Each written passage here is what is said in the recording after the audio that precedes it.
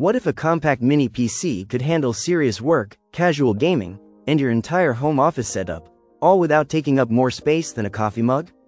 That's the promise of the AceMagic M1 mini PC, and today, we're going to find out if this little powerhouse can actually deliver.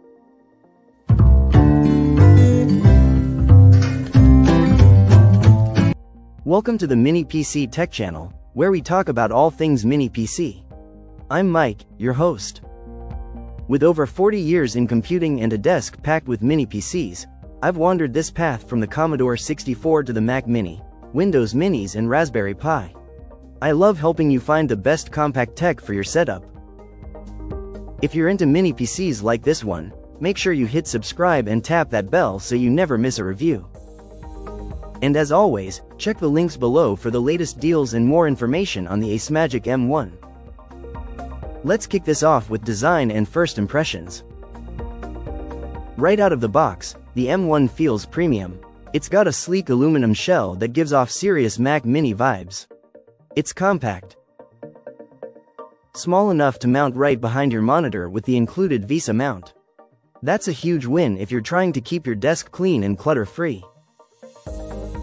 Now, one of my favorite parts is the port selection. You've got USB-C, multiple USB 3.2 ports, HDMI 2.0, DP 2.0, and even 2.5G LAN. No dongles needed. Whether you're connecting monitors, peripherals, or external drives, the M1's got you covered. Of course, good looks only get you so far. Let's talk about what's under the hood, because this is where the M1 gets serious. This thing runs on AMD's Ryzen 7 6800H, 8 cores, 16 threads, and a boost clock up to 4.7 GHz. Compared to its predecessor, the 5800H, this chip delivers around 10% more performance, not just in benchmarks, but in real-world use. And it's paired with blazing fast DDR5 memory, which is a game-changer for multitasking. The system comes with 32GB DDR5, but you can upgrade all the way to 64GB if you need even more headroom. What about gaming? After all, it's rocking Radeon 680M integrated graphics, and if you've been following AMD's RDNA 2 lineup, you know that's no joke.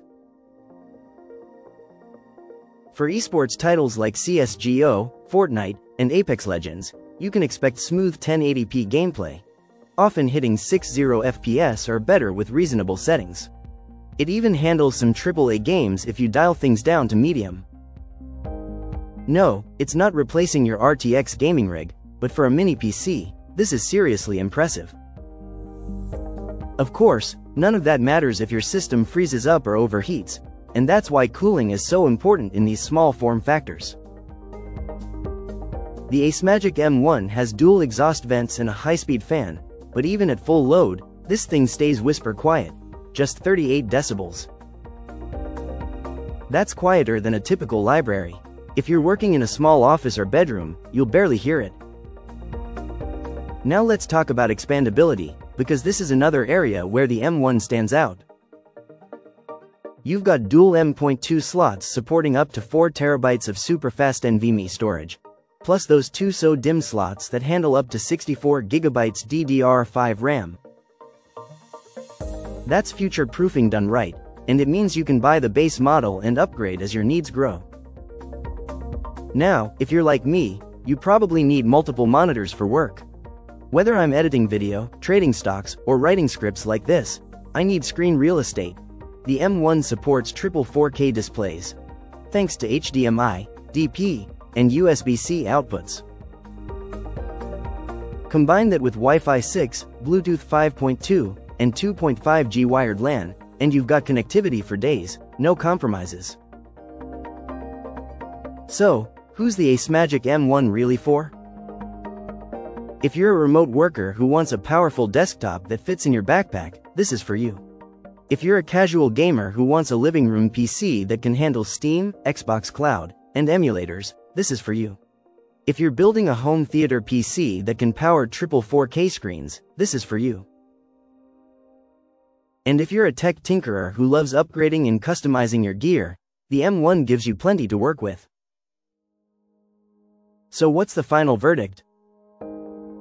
Starting for around $400, you're getting desktop class performance in a package smaller than a router. The combination of Ryzen 7 6800H, Radeon 680M, DDR5 memory, and fast storage makes this one of the most capable mini PCs I've reviewed this year. It's not a hardcore gaming rig, but for work, content creation, and light gaming, it's an absolute win. If you want to check it out for yourself, I've got links in the description.